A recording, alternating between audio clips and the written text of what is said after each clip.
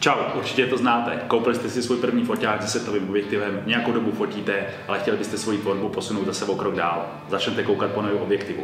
Který z toho nepřeberného množství vybrat? Dneska vám dám krátký tip, který by vám s tím výběrem mohl pomoct. Jdem na to.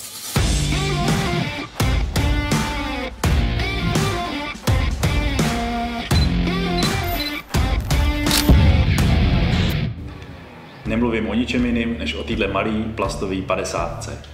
Což je podle mě nejlepší objektiv v poměru cena-výkon. Proč si to myslím? Pokud tuhle 50 otevřeme, jak se říká, na plnou díru, dostaneme se na clonu 1.8. Čímž pustíme do foťáku hromadu světla a jsme schopni fotit i za zhoršených světelných podmínek.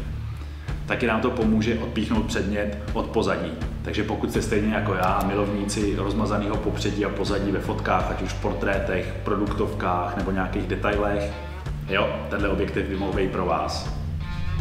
Ostření u téhle 50 zajišťuje STM motor, což znamená, že ostření je rychlý, přesný a plynulý. Což je výborný nejen pro fotku, ale taky pro video.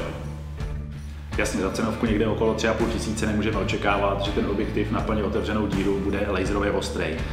Je tam nějaký takový to lehký blátíčko, lehká vynitace, já osobně to mám rád, ale když přisloníte někde okolo 2,2, 2,5, tak ty fotky jsou opravdu super. Cena se taky trochu promítla do konstrukce objektivu. 50 je plastová, co ale potěší je kovový závit, což v této cenové hladině taky nebývá úplně standardem. Pokud jste majitelé APS-C, tedy foťáku s menším senzorem, musíte počítat s kropovým faktorem, to znamená, pokud tuhle 50 nasadíte na objektiv, tak získáte 50 x 1,6 zhruba 80, s čímž je taky dobrý počítat, než tenhle ten objektiv koupíte. Tohle plastáčka mám už od svých začátků, kupoval jsem ho tehdy ještě ke svýmu 100D se setovým objektivem 1855 a musím říct, že mi otevřel oči jak ve světě fotografie, tak ve světě videa. Za mě, jak už jsem říkal na začátku, je to nejlepší objektiv v poměru cena-výkon a podle mě by neměl chybět paťou žádného fotografa.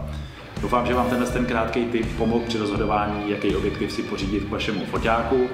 Pokud byste chtěli zjistit, jak fotit na manuální režim, můžete se podívat na tohle video. A pokud třeba upravujete fotky v Lightroomu a nevíte si rady, můžete se podívat na tohle video, který jsem nedávno natočil. Pro dnešek je to všechno, já se budu těšit do dalšího videa a znáte to. Mějte se krásně a zatím. Ciao.